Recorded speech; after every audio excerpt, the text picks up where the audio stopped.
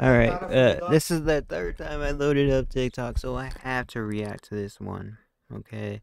Because it keeps showing me they're the same video or the same creators, so we will, uh, first of all, I just want to say nice outfit, you know, he's got a little bit of makeup going on as well. And yeah, let's... Other than that, I don't know what it is going on right now. I mean, I guess guess I could try and translate the page, but uh, yeah, I just wanted to make those comments.